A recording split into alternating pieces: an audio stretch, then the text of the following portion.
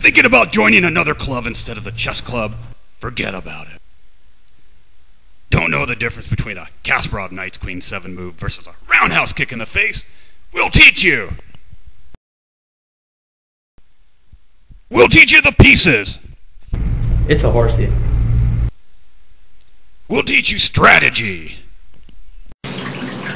No, if you do that, I'm going to do that. If you do that, I'm going to do that. If you do this, I'm going to do that. Oh, you don't want to do that. We'll teach you sportsmanship! After one week in our chess club dojo, we'll teach you the skills you need, which I've developed in over two years in the octagon. First off, the strength of a grizzly. Second off, the reflexes of a puma.